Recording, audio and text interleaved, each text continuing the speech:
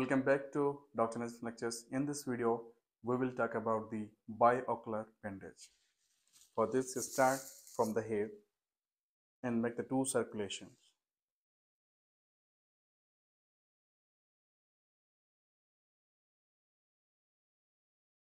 After completing the two circulations, take a turn from that side and covers the eye, but ear should be opened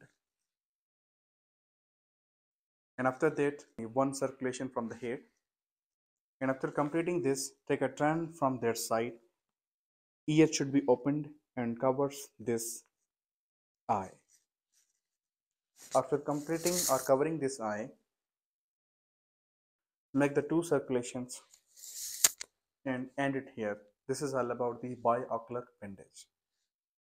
In the biocular bandage in a summary first make two circulations in the head Take a turn from their side, cover this eye, and comes posterior and make one circulation. After completing one circulation, take a turn from the posterior side and cover this eye.